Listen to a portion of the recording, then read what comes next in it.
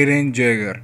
Se había mencionado que era de origen turco, que significaba santo y demás. Bueno, se ha revelado por qué Grisha Jäger ha decidido ponerle ese nombre a su hijo, por qué el protagonista lleva este nombre.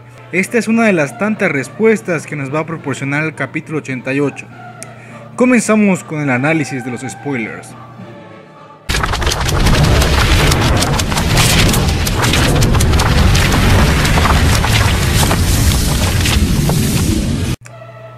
La primera revelación es que Kluger es Eren Kluger. Así es, este era el primer nombre del búho nocturno. Y por esta razón Grisha Jäger le pone ese nombre a su hijo, Eren.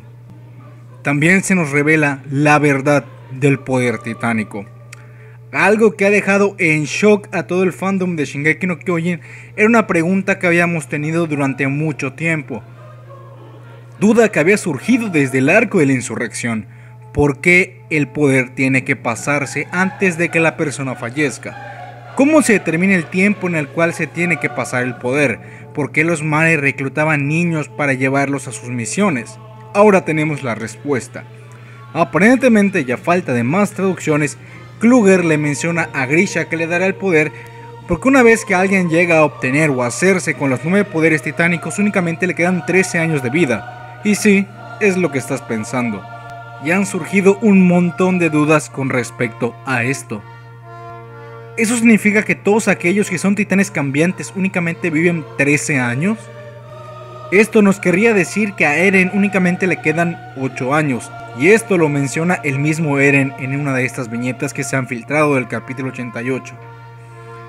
¿Eren Jäger morirá en 8 años? Esto también estaría conectándose con Annie Leonhardt, si recordamos una duda que habíamos tenido es por qué su padre se despide tan nostálgicamente de ella. Es porque quizás es real esto de que cualquier titán cambiante únicamente vive 13 años. Y por esta razón se reclutan niños. También otra duda que ha surgido y que con ella, y que en vez de respuesta nos ha hecho pensar aún más. Si los titanes cambiantes únicamente viven 13 años, ¿los titanes regulares también tienen esta fecha límite de vida? Por esta razón los mares los transforman una y otra vez para poder llevarlos a seguir vagando en la isla de Paradis. ¿O por qué? Entonces, ¿qué sucede con Ymir? ¿Por qué Ymir pudo vivir más de 60 años? Entonces, ¿los titanes regulares pueden vivir un tiempo ilimitado? ¿O también tienen una fecha límite a la de los titanes cambiantes?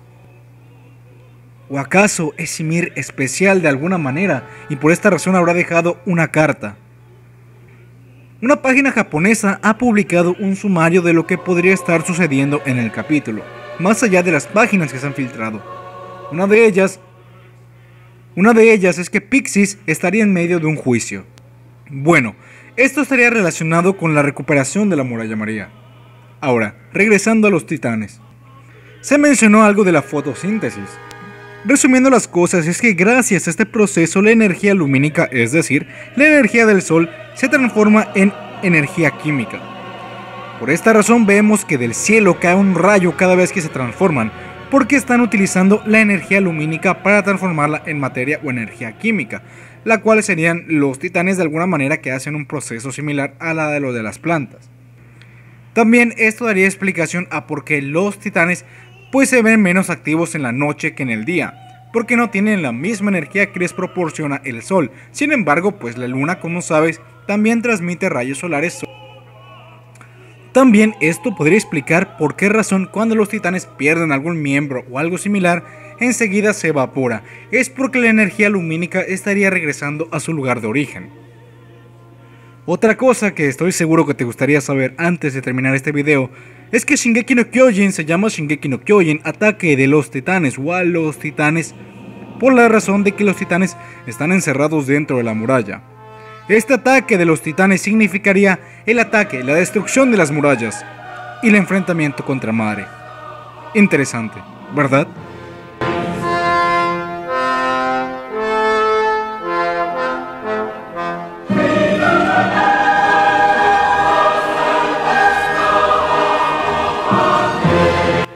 Ya sabes que el capítulo 88 completo en español y con el mejor seguimiento conforme vayan saliendo las páginas en este canal y en las cuentas que te voy a dejar de Twitter y de Facebook.